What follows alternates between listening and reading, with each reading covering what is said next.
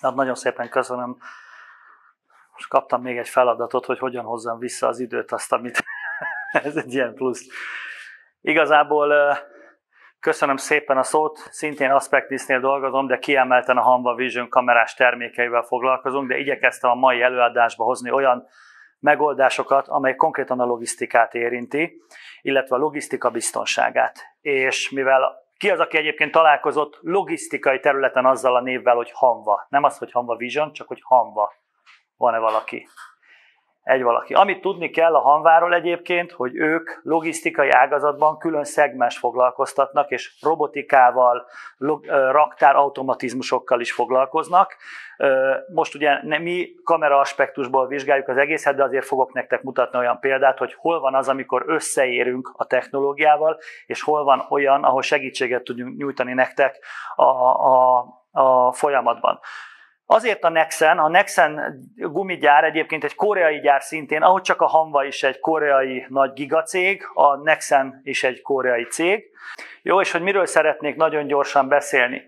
Mivel én magam már 19-ben voltam kint a Nexen gyárba, akkor is csak egy fél napot tudtam eltölteni. Igyekszem bemutatni a, a a gumigyártásnak a folyamatán keresztül az, hogy ott hol milyen logisztikai megoldásokat használtak, illetve milyen biztonsági aspektusokat, az nekem sokkal jobban érdekelt akkor, mint az, hogy éppen hogy juttatják el bizonyos anyagokat az egyik gyártási folyamatból a másikból, de azért ezen végigfutnék, és azokat a publikus fotókat tudom csak használni, amik a interneten vannak, amik készültek, maga azt nem engedték megosztani. Utána szeretném bemutatni gyorsan, hogy milyen általános kamerákat használnak és annak milyen funkciói vannak, mi volt a videó management szoftver elvárás, elvárás részükről, hogy hogyan üzemeltessék ezt az egészet, illetve mostanában 19 óta milyen speciális analitikákat használnak pont azért, hogy a logisztikai folyamatokat, illetve a gyáron belüli biztonság HSL folyamatokat meg tudják tehát a kollégákat meg tudják védeni, illetve milyen aktuális tesztek folynak most, ami viszont ki, ki, kizárólag logisztikai dolog. Jó, hát a Hanva Visionről akkor ezt nem ismétlem el. A Hanva Vision kizárólag az optika, illetve a kamerákkal foglalkozó ö, divíziója a Hanvának, és mi, mint Aspectis, ugye ezt a Hanva Vision-t forgalmazzuk. A Nexen az pedig itt van. Előttünk durván 2018-17-ben volt akkor, mikor elindították ezt a beruházást, durván 80 millió dolláros beruházás volt, és itt a Hanva nem a kamerákat adta el ilyen értékben, mert az mondjuk jó kis margó lett volna, hanem igazából teljes körű mérnöki szolgáltatást adott, és mivel 2011-ben a Nexen csinált egy automatizált gyárat Koreába, ezért amikor idehozták, itt a teljes infrastruktúrát a Hanva vitte tovább. Legyen ez a szalagos árumozgatásról, a görgős áruelosztásról, a mennyezeti ilyen bocsánat, nem vagyok nagyon szak, ebbe, ebbe érintett, de ilyen mennyezeti rekkes, ilyen sines áru továbbításról. Köszönöm szépen, conveyor. Angolul hallottam így, csak nem tudtam, hogy ezt hogy használjam én. Tehát ilyen szalagos továbbításról, és innentől kezdve mind a kamerás megoldás ezt a Hanva vitte oda technológiába, plusz most már újabban vitt oda teljesen automatizált targoncás árumozgatást, Úgyhogy, úgyhogy ebben és ebben is már a hanva kamerák dolgoznak, és ezért is lehet érdekes. Jó, hogy, hogy hogy nézett ki? Amikor én kint voltam ebbe az egészben, itt tulajdonképpen nyolc nagy egységre volt bontva, minden egyes gyártási folyamat külön nagy csarnokban volt, tehát számomra óriási, tehát szinte beláthatatlan, és igazából az volt az érdekes, hogy minden egyes munkafázisnál más-más biztonsági előírások voltak. És például, amikor az első anyagból lehetett látni, hogy hogy öntik bele a kaucsukot, mint a gumi alapanyagát, meg ugye minden mást, ugye itt ilyen szalagokon vittek, tehát az adagolás is egy teljesen automatizmus, kicsomagolás nélkül ment minden öntőbe, és innentől kezdve egy hatalmas kazánba mentek be, de ezek a kazánok olyan óriásiak voltak, hogy feladat volt az, hogy ugye biztosítsák azt, hogy ember nem tartózkodhat a közelében. Ezért szinte minden egyes gyártási fázisban egyébként alkalmazták ezt a, megint csak nem tudom, szakszavak, ilyen rácsos, kulcsos megoldás, hogy ember ne lehessen be, ilyen biztonsági záras, plusz igényelték még azt is, hogy a, most már azt is igénylik, hogy a kamera is nézze, hogy valóban nincs benne ember, hiszen itt azért ö, nem lehet látni a gépnek hol a másik vége, tehát, és, a, és a zárakat valamikor mondták, hogy a kollégák szeretik kiakasztani, csak beraknak egy álkulcsot, és akkor valami nem történik megfelelően a zárás, és mégis el tudják indítani a gépet. Úgyhogy ennek a kiküszöbölésére itt a finomítási folyamatban szó szerint itt megy bele minden nyersanyag az egészbe, és itt alakítják ki azt a fajta nyúlós gumianyagot, amit szalagokon vittek tovább. Tehát itt egy ilyen görgős továbbítás volt a következő gyáregységig, ahol meg már folyt az extrudálás. Itt alakították ki egyébként azt a futófelületet, ami, amin az autók tulajdonképpen mennek, illetve az autónak az oldal részét is itt alakították ki szintén lehetett látni, hogy egy ilyen görgős folyamat volt, ami nagyon érdekes, hogy itt viszont közelengedték őket az embereket, és ilyen nagy hatalmas üveg vagy plexivel volt leválasztva, mert szemrevételezés is történt ebben az esetben. Tehát nézni kellett, hogy ebben, a, amikor kijön a hőkazánból ez az anyag, ez a most már akkor guminak nevezzük az anyagot, akkor történik-e benne bármilyen fajta hólyagosodás, amit ugye gépek is vizsgáltak, de szemrevételezéssel sokkal jobban lehetett, és itt, itt igazából ennek a továbbító szalagnak a folytonosságát kellett megfigyelni ö, kamerákkal, és igazából itt meg viszont nagyon fontos volt, hogy legyen ember. És most már telepítettek ide is kamerát, mert a kollégák szerettek elvándorolni, itt pedig a kamerarendszer a dispatcher központban azért, azért jelez, ha nincs ott valaki. Tehát egy ilyen fajta, ilyen elvárás lett, és ezt is most már kamerával oldják meg. A következő, amikor viszont összerakják ez a hengerelési folyamat, itt futott rengeteg fémszál, meg szövetháló, és itt engedik össze azt a felforrósított anyagot, és így kerül bele ez a, a fémszál a gumiba, és itt tulajdonképpen összehengerelik ezt a kettőt. Mm, igazából ez teljesen automatizált. Ide soha nem léphetett be senki, óriási sebességgel futott a kettő egymásba, és itt igazából ami elvárás volt régen az, hogy ugye minden egyes gyáregységben más-más ruházatot viseltek a dolgozók, és ebben az egységben pedig, pedig most már az öltözéknek a, a színének alapján megkülönböztetők, hogy kötelező legyen a vizsgálat. Most a, az új hamba kamerákban, amit tesztelnek, már van egy ilyesmi fajta lehetőség, hogy nézi, hogy visel-e valaki kobakot, megkülönböztető biztonsági mellényt, vagy és kesztyűt. Ezt a hármat most már elvileg nézi. A kamera, de ez még nem a kamerán futó analitika, hanem egy háttér szoftver biztosítja a dispatcher központban. És amikor te volt egy teljesen különböző gyáregység, ez, ez teljesen oldalt volt a másiktól, itt készült el ez a úgynevezett perem gumi. Ez az a része, ahol a gumi az abroncsal találkozik, és ez borzasztó erős anyag, ez egy teljesen más technológiával készült. Itt pedig szintén a holyagosodást nézték, de itt olyan módon, ez nagyon érdekes volt, hogy a, egy nagyon nagy sebességű kamera, ami egyébként egy normál kamera, majd mindjárt megmutatom, nézték a, a szalagnak a továbbítását, ez ilyen 60 frame per, tehát 60 kép készült másodpercenként, csak hogy lehessen érteni, 60, 60 képet készített, és ott azt nézték, hogy mennyire tér el a vastagsága a hengerelési folyamat során, hogy ez a, és ott van egy nagyon erős fémszál a peremekben, minden egyes oldal, ugye ott fog találkozni az abroncsal, és rá, így rá öntötték a gumit. És ugye ez, ez nagyon fontos volt, hogy fix méretű legyen, és ezt is kamerával, tehát minden egyes ilyen ö, külön ö, peremezett gumit egy külön kamera figyelt, hogy ne térjen el a, a szélessége. Voltak erre különböző vágó technológiák is, de akkor már nagy mértékben sérül a gumi, ezért fontos volt, hogy kapjanak információt ennél a folyamatban. És ugye jön az öntési eljárás, ez tulajdonképpen ez volt a legnagyobb gyáregység, ez már maga az összeszerelési részleg, tulajdonképpen ami elkészült futófelület, oldalfelület, és maga a peremezett gumi, itt rakják össze egy nagy öntőpréssel, és itt is hőkezelés történik, és tulajdonképpen itt kapja meg a, a guminak is a végleges formáját, hogy éppen most mit szoktunk látni az autógumikon. És itt, itt megint az volt, hogy szigorúan ez is védett terület, sőt, még a kerítés közelébe sem mehetett, itt nagyon gyakori volt a, a, az összeszerelésnél, amikor a gép technológia nem sikerült, akkor szétesett a gumi, de az, de az több méter tudott repülni, Ezáltal nem, hogy a kerítés, megkerítés közelébe se szabadott menni. Itt szintén most már ilyen mesterséges intelligencia alapú kamerával való közelítést néznek, és hát ha belép valaki ebbe a zónába, akkor leállítják a gépet, de hát az valami óriási kiesés, tehát erről szó sem lehet, ezért, ezért is van, hogy a mindenfajta a PLC vezérlőkön kívül most már kamerával is figyelik ezt, a, ezt az egészet, és amikor pedig lehet látni, hogy elérkezünk a végső vulkanizálási folyamatra. Ugye a vulkanizálás az az a folyamat, amikor tulajdonképpen egy, van egy meleg, meg hideg vulkanizálási folyamat. Most ebben nem megyek bele, a meleg az szintén kazánokba történik, de a hideg az pedig kén, kénes eljárás, ahol külső-belső folyamatokban a gumit kialakítják. És itt tulajdonképpen már szintén egy egyszerűbb analitikát használtak a kamerákba, a megközelítés, itt vonal, vonal analitikát, tehát például itt is most van egy piros vonal a földön, ha valaki átlép, akkor jelez, de hát ez a metróban hasonlóképpen működik, tehát itt is egy egyszerűbb kamera analitikát hívtak segítségül, és ezzel szabályozták be. És innentől kezdve, illetve az előző, amikor összeszerelték a gumit, akkor jött elő ez a conveyor, akkor, hogy nevezzük most már, akkor én is most már tanulok belőle.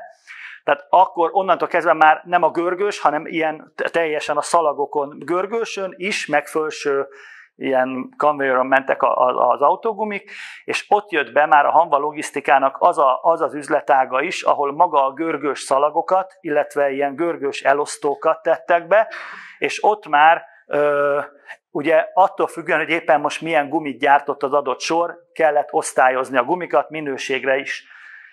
És utána a legvégén volt a teszt, ami már egy hatalmas raktár, ott, ott már így ömlesztve voltak, ott megtörtént, ott emberi válogatás történt már a minőség ellenőrzésnél, ugyanis itt különböző ö, vizsgálatokat hajtottak végre azért, hogy megfelelő ez az adott gumi és itt is általában már sima kamerákat használtak, tehát itt tényleg azt nézték, hogy a munkavállalók megfelelően dolgoznak-e. Tehát nagyjából ez volt a munkafolyamat, és hogy, hogy mi volt az elvárás, amikor, amikor azt mondták, hogy a, a Hanvával mint kamerarendszer szeretnének dolgozni.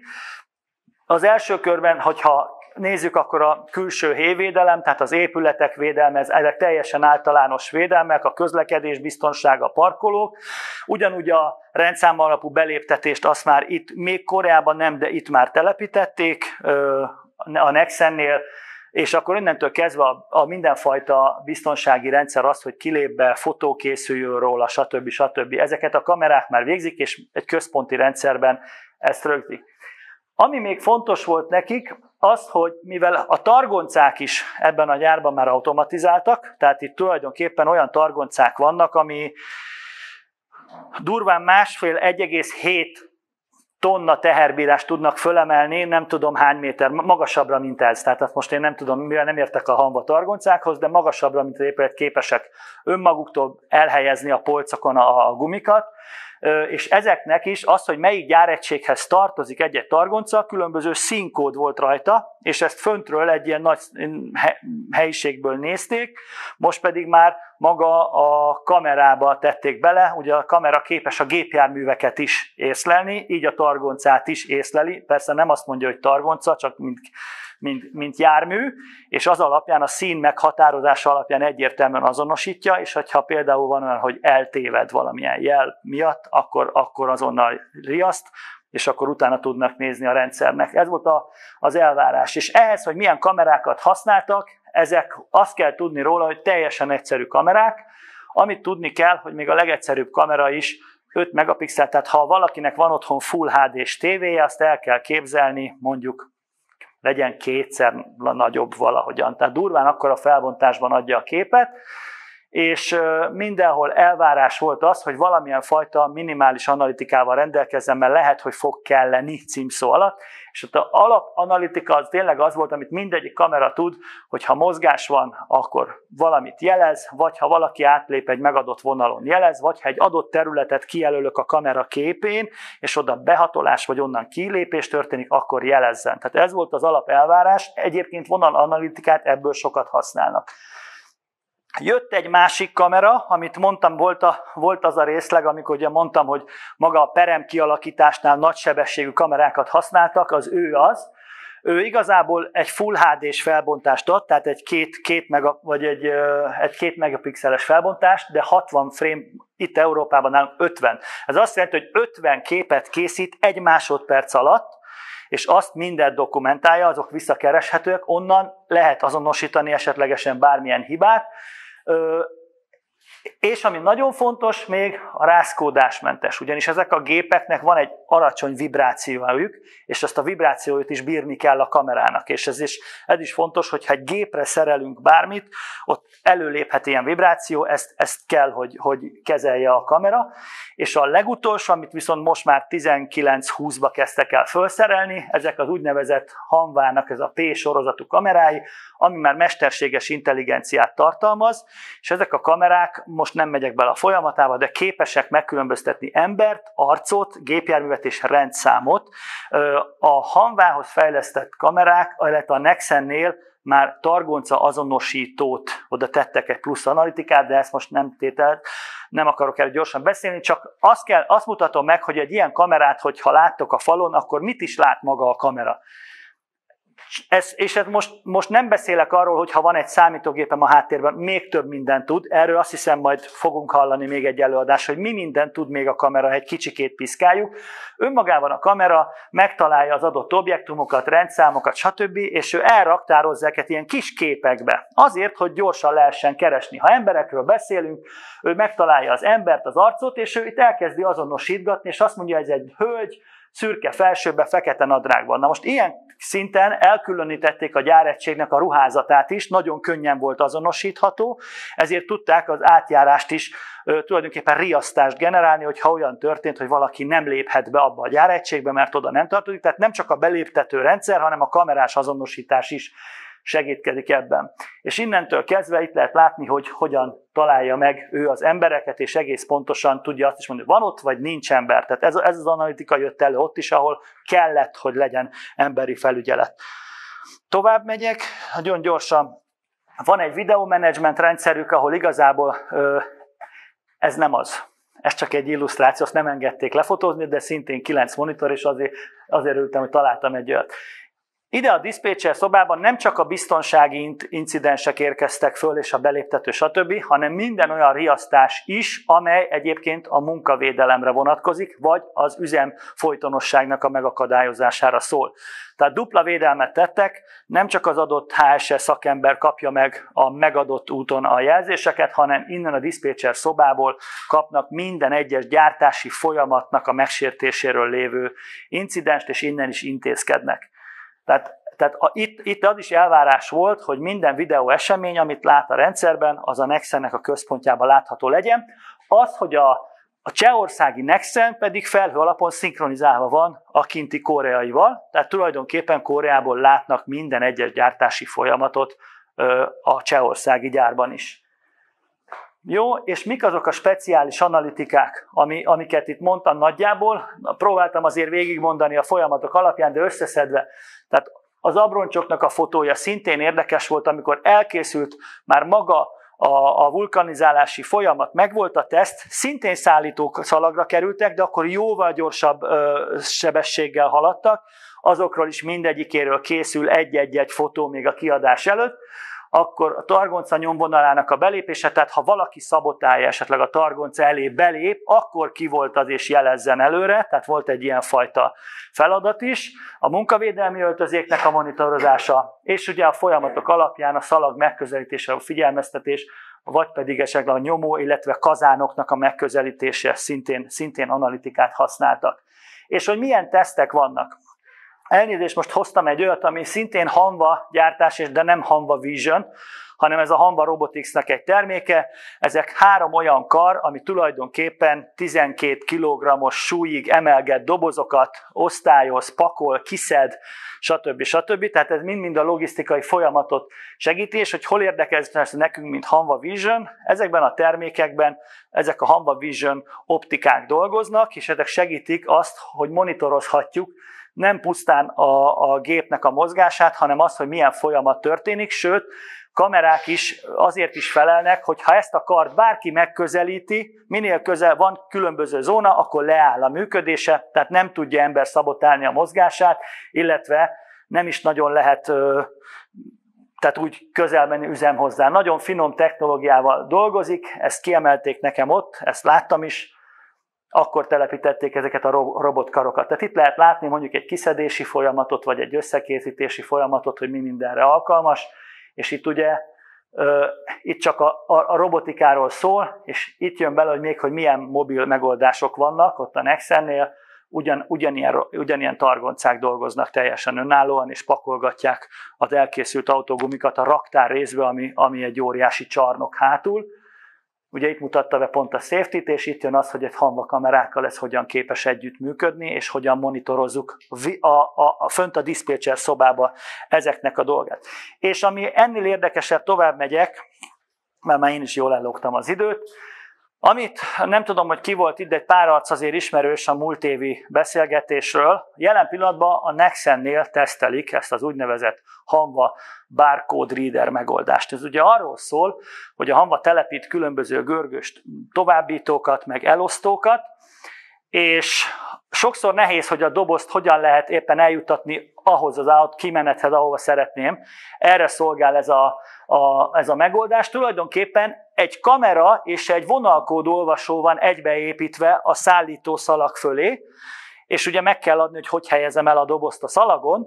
Ő az alapján le, csinál egy fotót a dobozról, csinál egy fotót az adott azonosítókról, a bárkódról, és az alapján ő a rendszerben logolja az áru mozgását, sőt, ezeken a görgős elosztókon ő továbbítja is automatizáltan a megfelelő kijáratokhoz.